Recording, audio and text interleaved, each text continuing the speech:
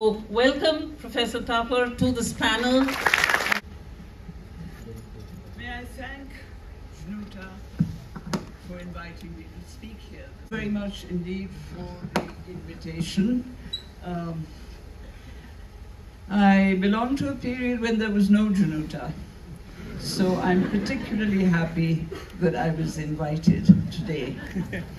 Looking round the hall, I must confess that I have a feeling that I'm here as a dinosaur. and therefore, I'm going to speak like a dinosaur. I'm going to talk not about what the JNU is today, of which I am very proud, uh, many, many things, but I'm going to talk about some of the issues and problems that we faced when we started it off. So bear with me, it's very much an old person's view of something that is still ongoing. Now, in talking about the life of a university, we have to keep in mind the fact of knowing what is the purpose of education. And I would say that the purpose of education is to ask, to learn to ask relevant questions.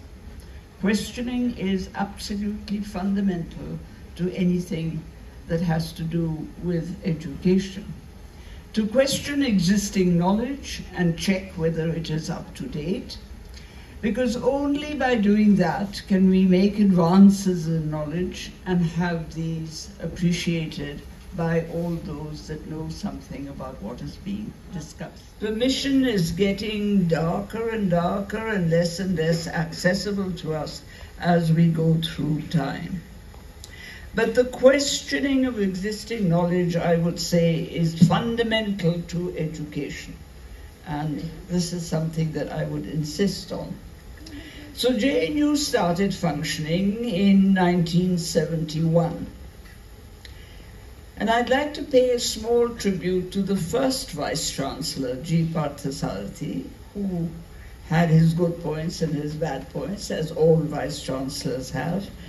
But the important thing about GP, as we called him, was that he understood education. He understood what the university as an institution is. He understood the functioning of the university in society.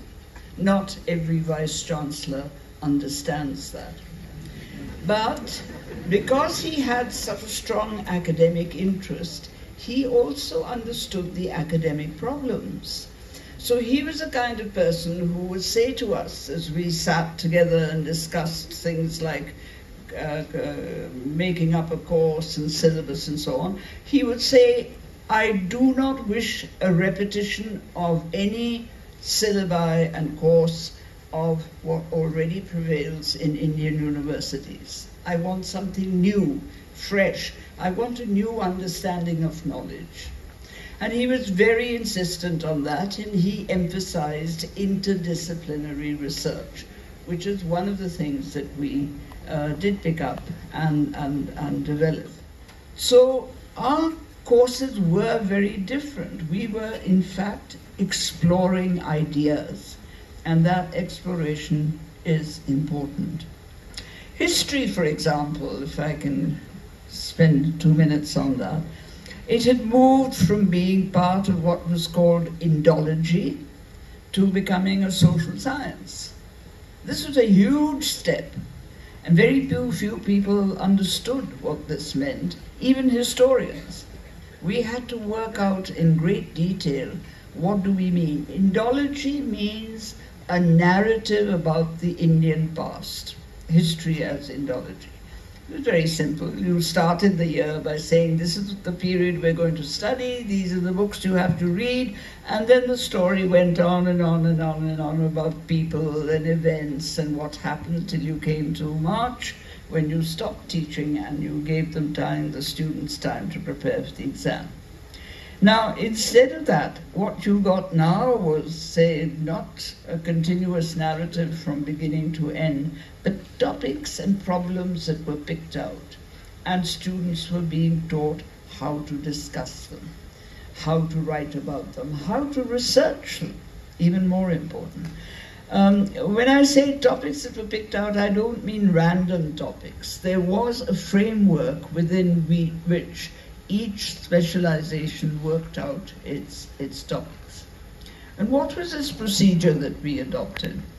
We were assessing, first of all, very important and particularly important today. Unfortunately, we live at a time in this country when evidence is simply not taken seriously. Nobody asks for evidence. You can get up and talk utter rubbish and say, I believe it. And no one is going to say, What is your evidence? So we started off with teaching students about evidence and how important it is, and more than that, how do you test the reliability of evidence? Because not every statement you make is evidence. You have to test the reliability and prove its reliability. The emphasis then was on professional methods of training scholars in a discipline. Terribly important. And that's precisely what we suffer from today. There is, particularly in a discipline like history, a frontal confrontation between the professionally trained historian who tests the reliability of evidence, the generalizations that are being made, the statements that follow, with a whole bunch of people who've no idea what the evidence is, or if they read it, they read it in translation, in some wretched author translation, which is not reliable, and who then proceed to make statements about that particular subject uh, with really no evidence and no knowledge. And this is, this is, I think, one of the crises in both education and in our intellectual life today. You cannot have rampant, non evidence, non reliable statements being made and being treated as serious statements that have to be discussed. This is a crisis that we are facing in which we have to find a way out of. And obviously, this conflict will remain and will continue until education improves to the point of people realizing the centrality and the crucial basis of the reliability of the evidence that you turn to. And in all this, therefore, as academics, were very protective of one foundational idea our right to think freely. Because if you're going to question knowledge, and if you're going to say that, you know, we are going to question the reliability of evidence and prove whether it is, it is uh, reliable or not, and all the other questions that follow, you have to protect your right to think freely and not be. So we have to discover their history, and they discovered it in a particular way, which ended up one of their theories was the two nation theory. Now, this has been going since 1817 when James Mill wrote his book and brought it to the surface. And it's been going on being taught by British Indian education in India right up till uh, independence and after independence. And as we all know, the partition of the country was not unconnected with this theory. There is a link. What bothers me is why didn't we Indian historians from the early 20th century onwards start asking, is this really a correct theory? I go back to my insistence on asking questions of existing knowledge. Why didn't somebody not get up and say, look, this theory makes no sense, not because we don't like it and we're emotionally against it, but in terms of evidence and evaluation, it cannot hold. Nobody said that. And the tragedy is that today, although a whole heap of historians have questioned it in the latter part of the 20th century and have thrown it out, today the kind of history that is being popularized is precisely derived from James Mill and the colonial understanding of history. Why can't we get rid of that colonial understanding of history and say, now we're going to question what actually happened and look at the evidence? This is a much bigger question than, you know, JNU and history and all of that. It's a question of an attitude of mind, it's a question of a way of thinking, and it is a question of the basic imprint which colonial scholarship has made on India, which we are reviving in disguised forms and really not questioning in the way it should be questioned. It's not enough to say, oh, this is what the British taught and therefore we get rid of it. हमारी भी history थी हम भी करेंगे जो हमको सिखाया गया था हमारे पूर्व लिए No, that is not the answer. The answer is that on the basis of the modern technologies and knowledge systems that we are otherwise appropriating in terms of the way we live and the material culture that we've adopted the Wawa people going off to the planet and to the moon and this, that, and the other. The other side of that story is you use that knowledge of questioning to question theories about society and history and everything else, just to be certain that those theories are not garbage. And this is a very important issue, a very important question that we have to ask ourselves. Questions here about the importance of critical thinking. I think this entire audience has agreed about the necessity of critical thinking, but this student asks to blame students in some sense and argue that stupidity has taken over intellect among Indians misses the actual point. Structures are constructed by the current desperation, dispensation, sorry, which incentivizes such linear modes of thinking so do you not, or do you all not agree that it is these structures which need to be dismantled rather than critiquing students for losing critical thinking? I never blamed students. Please be careful in what you listen. I actually said categorically, referring to my article published in The Wire, that stupidity is never a spontaneous process in any society. It is deliberately created by and as part of a certain kind of political project. So you students are not running that project. So that project is being run by certain forces. They are creating that situation in which stupidity is becoming a virtue and criticality is becoming a vice. So I am not blaming you.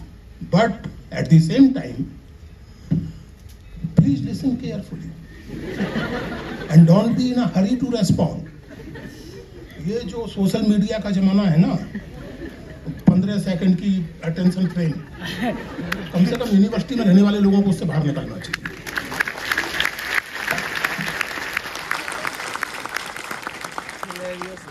stand up together for the idea of a university. Is rewriting of history possible and what could its repercussions be for us? I suppose it is the member secretary of the ICHR, Professor Umesh Kadam.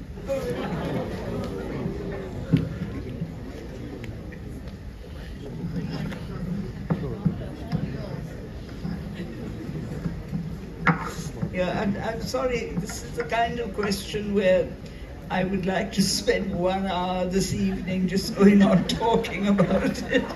I have to, I have one minute, I guess. All right. Um, look, history is always being rewritten. There is no such thing as such and such a thing happened and this and that and that period, and that that is the end of the story. Because there are always new sources that come up which make you look at the story again. For example, we are facing a very interesting situation today uh, with the whole discussion about what used to be called the Aryan question.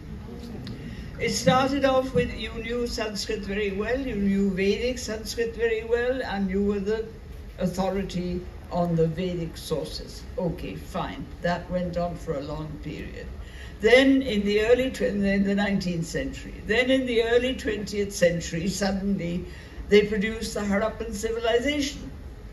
What do we do with that vis-a-vis the Vedic texts? Obviously, the Harappan civilization is much earlier. Therefore, all the theories about the origins of Indian civilization in the Vedic period and so on were questioned because you now had evidence that went back earlier, which is why there's some people desperately trying to prove that the Harappans also were Aryans. Okay, that was archaeology that came in. You had to be a good technical archaeologist if you were going to use archaeological uh, material, uh, archaeological evidence for the Vedic period. That went on quite happily. In the middle of the 20th century, the specialists in linguistics came in and started looking at Vedic Sanskrit as expressed in the Rig Veda and some of the texts a uh, slightly later period, and argued that there were elements of Dravidian in Indo, Indo-Aryan. This is a very serious intervention which specialists in linguistics made.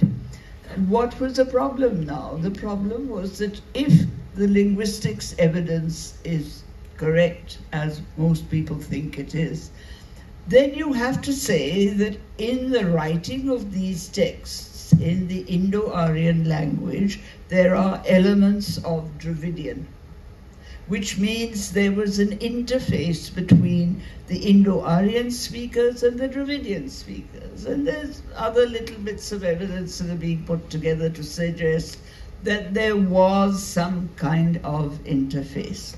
All right, that's one direction.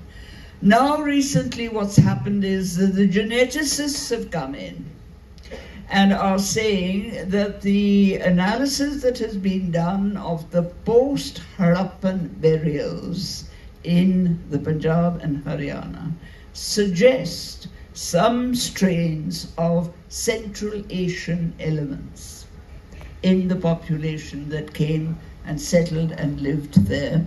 And the date that they give to these elements is the same date that the Sanskritists gave to the coming, to the rise of Aryan culture. Now, all that I'm trying to tell you is, I'm, in, in this case, I have my own thoughts about what, how one proceeds.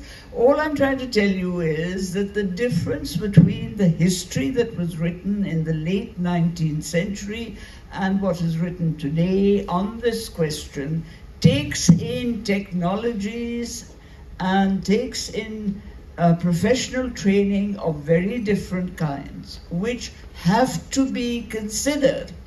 You can't say, no, this, I'm not interested in that, I'm only interested in the language, because then you're not looking at the complete evidence.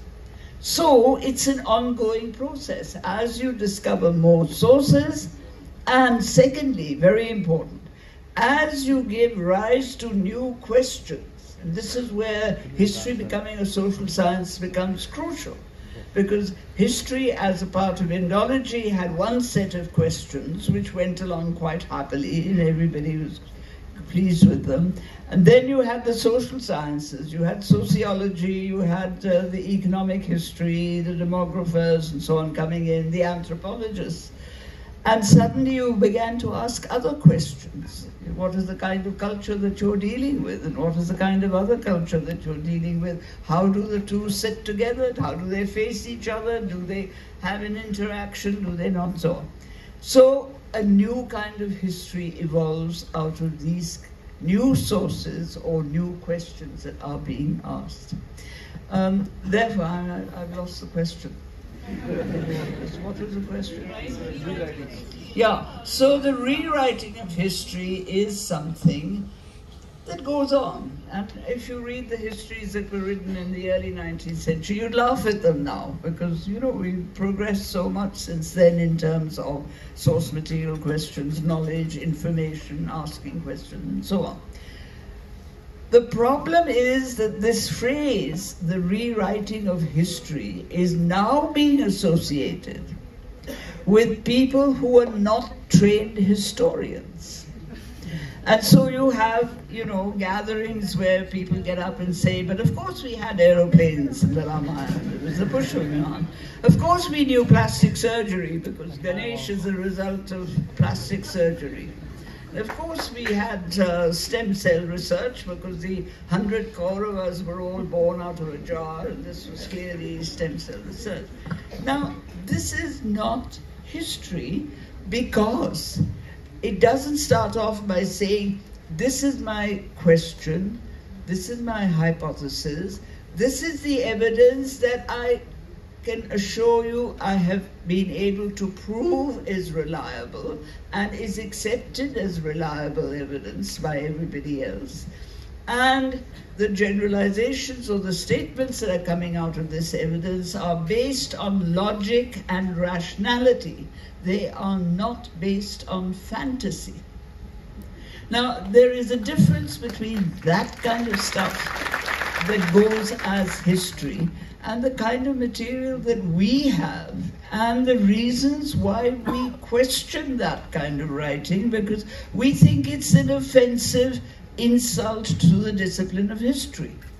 You're not doing history the way you should be doing. You're not doing it professionally. You're not doing it in a trained way. You're just passing off stray thoughts. That's not history.